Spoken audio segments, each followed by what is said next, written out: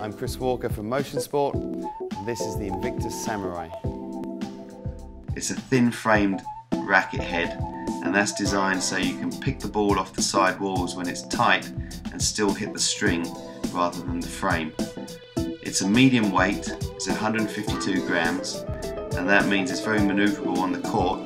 The balance has a little bit of weight in the head and that's there so that if you do play shots to the front and you want to take the pace off the ball with a smaller swing the weight gives you some foundation to feel that you've got control of the ball and much easier to take it into the front of the court doing that.